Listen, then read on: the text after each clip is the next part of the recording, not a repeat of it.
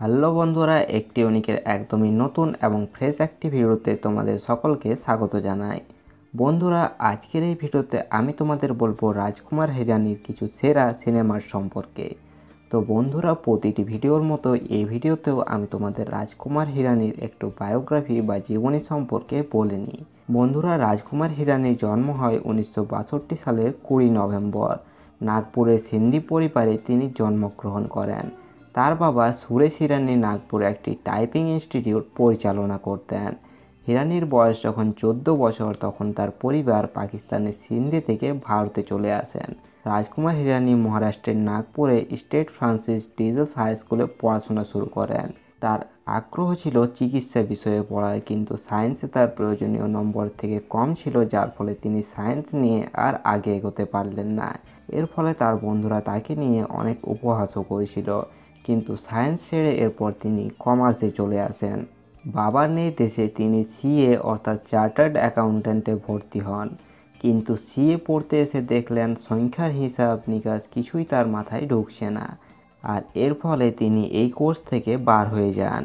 আর এরপর তিনি তার বাবার কাজে হাত লাগাতে শুরু করেন।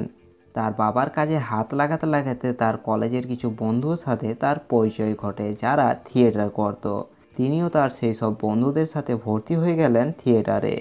সেইখান থেকেই তিনি তার জীবনে খুশির ঠিকানা খুঁজে পান আর এরপর তারা বন্ধুরা মিলে খুলে ফেলেন একটি থিয়েটার গ্রুপ, যার নাম দেওয়া হয় আওয়াজ। এরপর তিনি film and television institute of ইন্ডিয়াতে অ্যাডমিশন হওয়ার জন্য যান, যেখানে ডিরেক্টরের পদ সংখ্যা ছিল মাত্র আটটি। তাই ডিরেক্টর পদে তিনি চান্স পেলেন না তার পর বছর আর কিন্তু তিনি ডিরেক্টর পদের জন্য অ্যাপ্লাই করেননি। অ্যাপ্লাই করেছিলেন এডিটিং ফ্যাকাল্টিতে কারণ তখন এডিটিংয়ে খুব কম ছাত্রই অ্যাপ্লাই করতো। সেবার চান্সও পেয়ে গেলেন তিনি। সেবার তিনি এফটিআইয়ে চান্সও পেয়ে গেলেন এবং এখান থেকেই শুরু হয় তার সিনেমা জগতে পা রাখা। তাহলে বন্ধুরা, এবার আমি তোমাদের তার কিছু ভালো সিনেমার নাম বলে দিই।